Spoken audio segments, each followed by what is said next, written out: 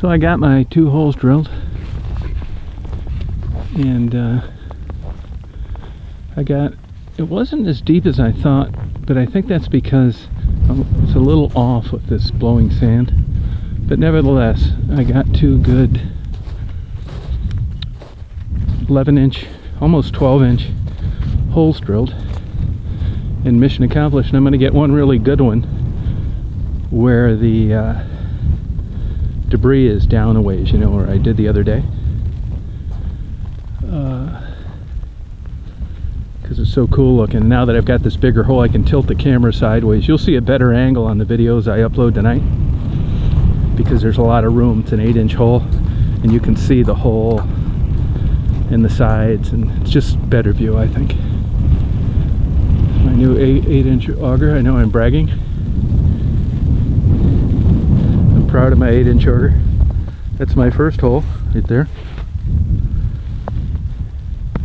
And actually it was only about 4 feet here, but see I really can't tell because you can't see through the ice. What's odd is that I didn't see the bottom because it's clear. But, so what? Not going to wear my cleats today. I'll probably stay on the sand. Sun's trying to poke through. It's uh, 21, 21 degrees. Here's my second hole. Much deeper out here. Definitely did not hit the bottom. Right here. I took my GoPro and I put it inside for you. Much more details my new 8 inch auger. Bragging again I'll tell you it's a bitch drilling an 8 inch hole with this. You gotta lean on it. it took me a long time. To wore my ass out two holes like this. So I will grab my ladle my new ladle. Bragging again. It's a nice one man. Saved me a lot of time now you see the hole's already starting to freeze over. That's what 21 degrees will get you. Right there. See that surface ice right there? Freezing on the side of the holes. And when I was doing that with the 4 inch, it was making me nervous. You know, I got those cheap plastic fittings on that GoPro.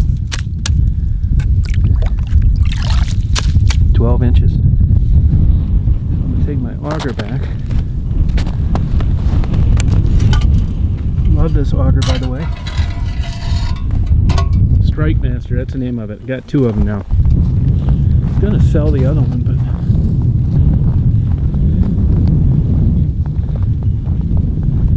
I don't think I will now. I don't get anything for them, and maybe there'll be some days where I just feel like uh, drilling a smaller hole.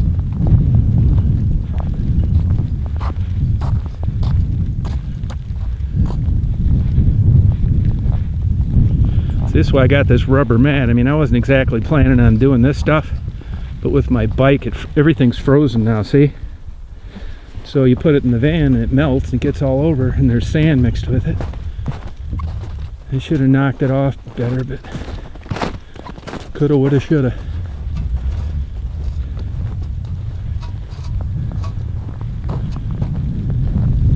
I should have this set up better gonna roll that window up for Daisy too. And I should, it's it's it's a constant game of keeping her comfortable. Like I said a million times, it's uh, harder to keep her cool than it is warm.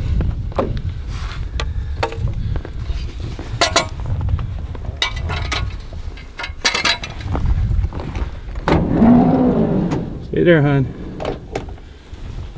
So I'll put my ladle here. Don't want it dripping all over, but not much you can do about it. And my auger, I'm just going to have to let that leak down the side somewhere. See where Daisy's at. Yeah, I think I'll put my auger over on my side.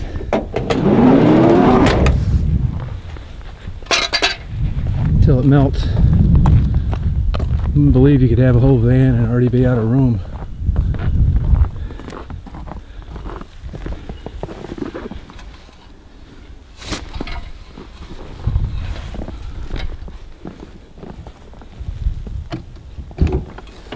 Dad's gonna be back, hon. I got the moisture drying out of the GoPro. That's another thing you gotta, I've used those moisture pads, they're a pain in the ass. They have a lot of dust on them. most of the time, luckily, the moisture uh, only. Uh, hey there, honey. The moisture only uh, collects on the side, so it's not a problem. Get a little drink here.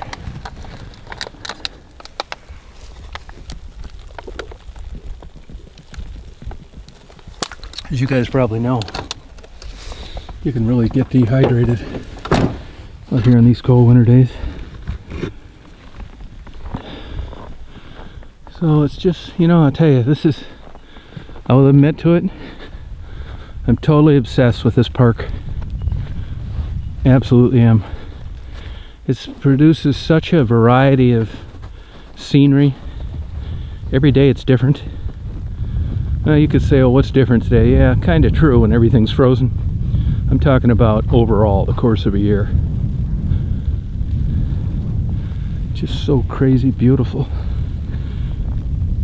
Not much wind. Just looking at the ice is so attractive to me and interesting. The random formations. Look at these big cracks. 20 feet deep here, maybe 25. I will actually verify that along the way.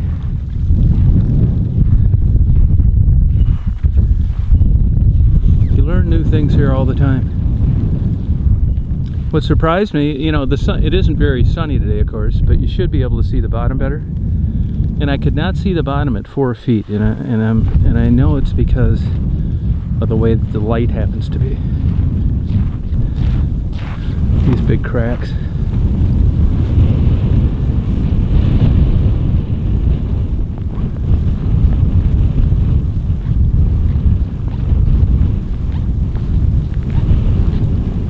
So here's where uh, this whole area, this used to be a completely separate pond.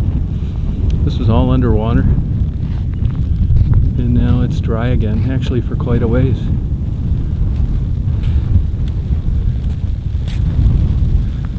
I'm gonna drill one good hole, get some good video before I leave down the other end. Let's see what time it is. Everything is getting ice up today too. Makes sense.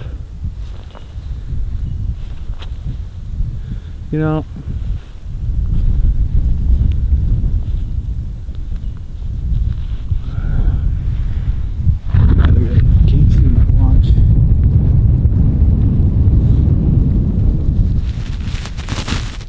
uh, 130. Okay, it's not bad.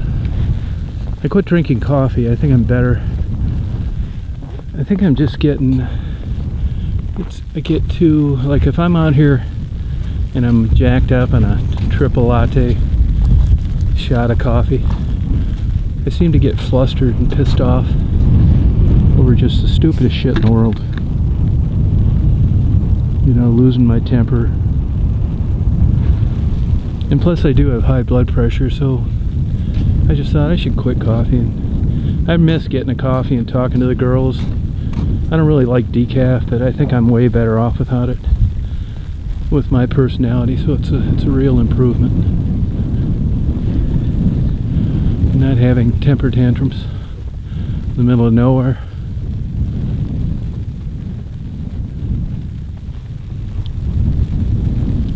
I'm calm, cool, and collected.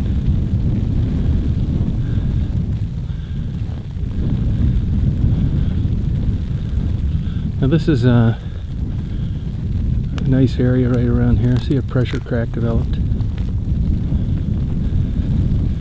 Remember the big thing, and I know I'm not talking down to people. You guys know this. Uh, there are uh,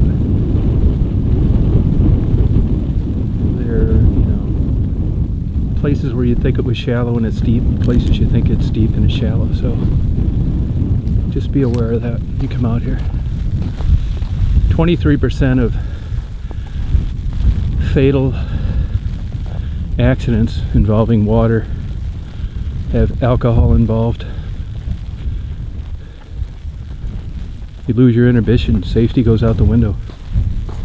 I don't think I'm, you know, I'm um, some big safety advocate, but I do know about these drownings, and I felt bad.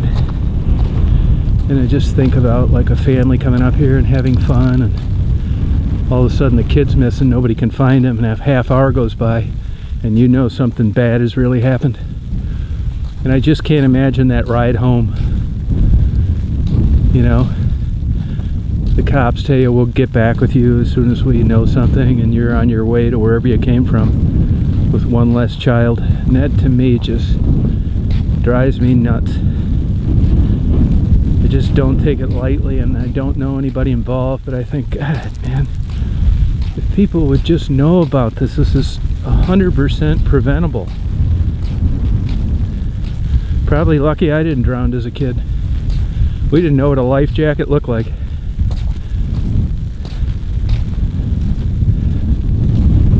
Got lucky.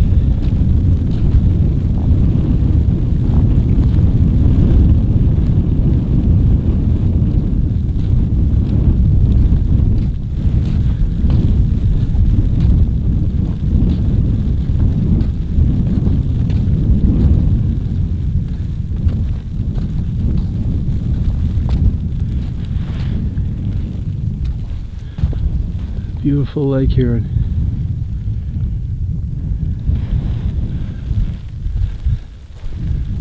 I can't help but going up here when I'm here every time because the sun trying to come through.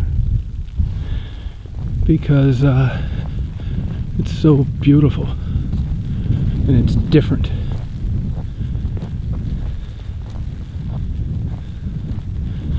So lucky to live within driving distance to this I wonder if there are fond memories of vacation. I think part of what creates those is that you only get there so often. And it forces you to memorize it in a different way. It's not like you're going there every day. So when you go on a week vacation you have nothing but fun. That's easy to have etched in your memory and I'm so lucky to go to a place where people vacation anytime I want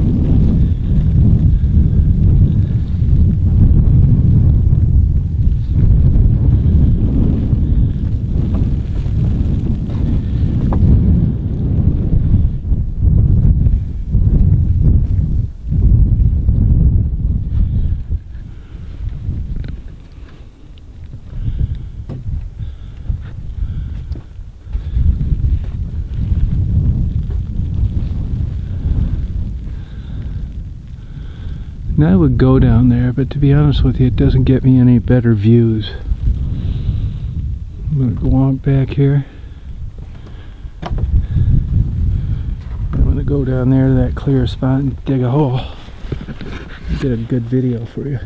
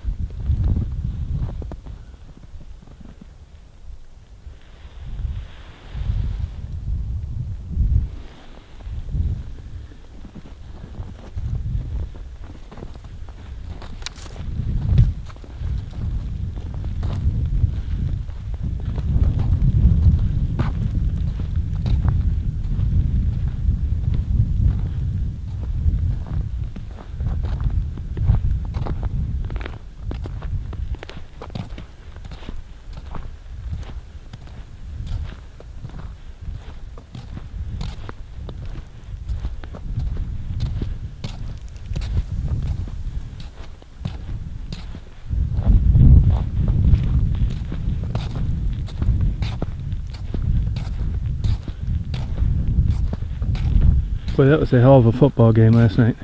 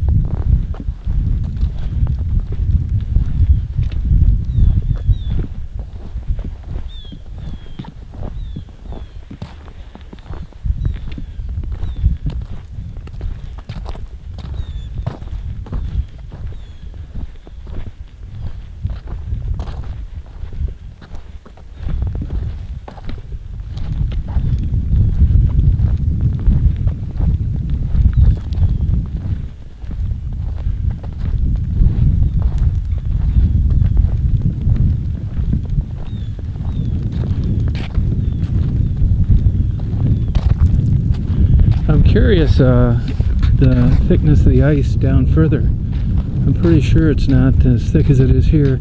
You know, this is calm. It is spring fed though.